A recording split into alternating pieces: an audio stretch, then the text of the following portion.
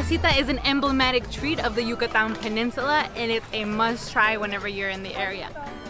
We are obsessed with these things. Every chance we get to eat one, we take advantage. We've had them here in Merida, in Cancun, Playa del Carmen, Oaxaca, Chiapas, and we've seen that they've started to expand to different parts of Mexico. Marquesitas are now known as one of the staple foods for Merida and the Yucatan Peninsula, but they haven't even been around that long.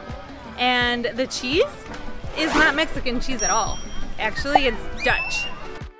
So we asked ourselves, how does this very young treat with European cheese become such a staple food of the Yucatan Mexican Peninsula? Welcome to Eat Baila Travel. My name is Jenny, Kevin's behind the camera, and today's vlog is going to explore the origin story of the marquesita. The best places to find marquesitas in Merida are at parks and in the streets of the city center. Centro is full of tourists and tourist prices, so we came to a local favorite, Parque Alemán.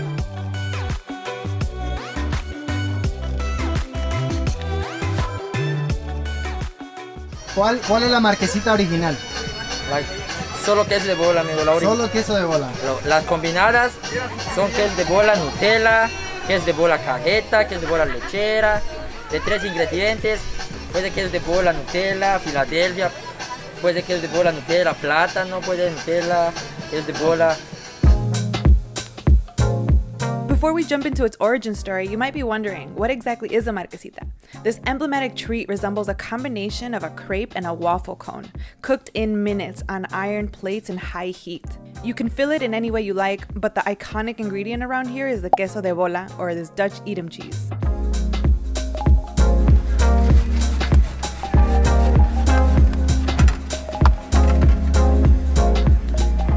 Marquesita maker carefully crafts each and every one, flipping it over and over for an even crisp on each side until it's finally ready for its filling. We asked for the queso de bola with cajeta on this one because we love the savory and sweet combo in one crunch. It gets rolled up while it's still soft, but he needs to act fast and finish filling it before it cools and hardens into its crunchy consistency.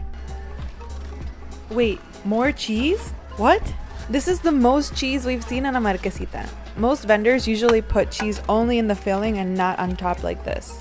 The average price in the Merida Centro nowadays is about 60 pesos, but we paid 40 for this one with double the amount of cheese.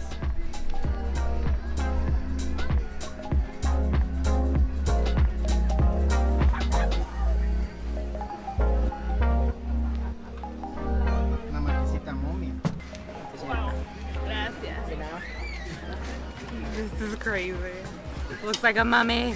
He gave us a sample of other Dutch cheese to try that is more salty. So there are options depending on what kind of sweet and salty balance you like. Pretty good. Wow. Hola, ¿Cómo te llamas? Gilmar. Gilmar, mucho gusto, gracias. ¿eh? Igualmente. Hasta luego. Our favorite marquesita is with queso de bola and cajeta, but look at all these options to choose from. Other popular combos are Nutella and Edam cheese, cream cheese and strawberry or blackberry jam, condensed milk, peanut butter, and fresh fruit. The marquesita only continues to grow in popularity, and people are getting creative with the fillings and flavors. Check out these marquesita options from Progreso, a nearby port in Beachtown. They had Oreo marquesitas, marquesitas with gummies, with gansitos, and even mazapan. So the history of la marquesita is a little bit complicated. As far as we know, there's a couple of different theories as to when this beautiful treat was invented. One of the theories is that Don Leopoldo had an ice cream business in Izamal and wanted to figure out how to make money during the winter season when people don't really consume ice cream. So what he did is he made a flat cone and decided to put a, a bunch of different toppings on it so that he can sell during the winter season. Another theory says that Don Leopoldo started making these marquesitas 30 years ago, but not in 1930, and that he's originally from Mérida, Yucatan. One thing for sure is that Don Leopoldo was 100% Yucateco, just like this marquesita. Well, maybe except the cheese. So this cheese, it's actually from Europe. It's not Mexican at all. And it's like the main ingredient for the marquesita. So how does a European cheese become the main ingredient in a Mexican treat?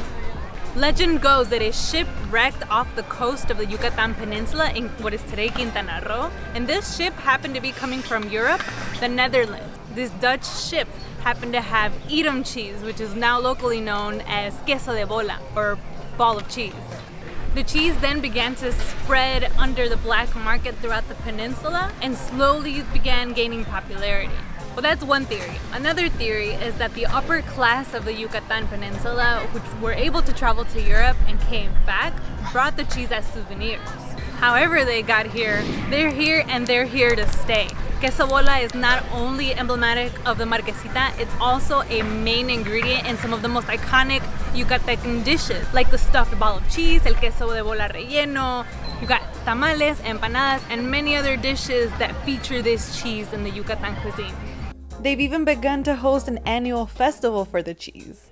Okay, this thing's been waiting for me long enough. We're also gonna look for some people and ask them what they like their marquesitas with. Mm. La pregunta del millón, ¿cuál es tu favorita? Mi favorita es queso de bola, Filadelfia, Nutella, son los mi... y lechera. Y lechera, wow. Sí. Dale, gracias No, Manuel. cuando guste mi nombre, servirle que le vaya bien. ¿Cuál, cuál es tu favorita marquesita? Queso con Nutella. ¿Cuál es tu marquesita favorita? Pues a mí solo me gusta el de solo queso. Solo queso. Sí, el de queso de bola. ¿Y qué se mola? ¿Y a ti, amiguito? Igual. ¿Cuál es tu marquesita favorita? La de queso de bola con Nutella. Queso bola con Nutella. ¿Y por qué? Solo por... La combinación de salado y dulce. Ajá. Mmm.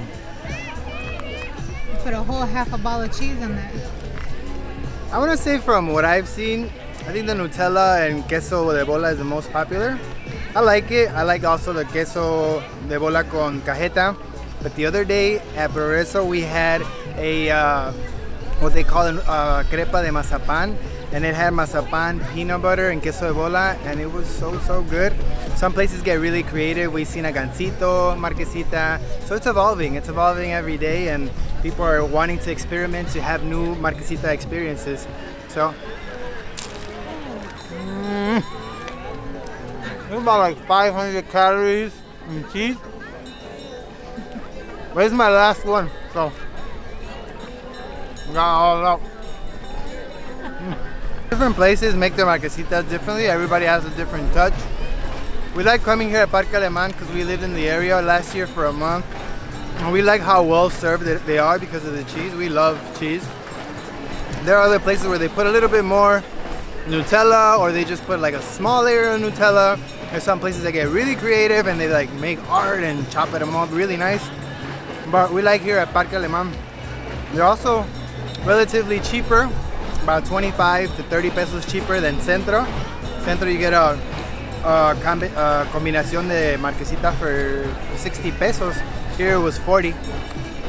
So it all depends. It's, it's also a drive out from Centro, but find your marquesita guy and never let him go.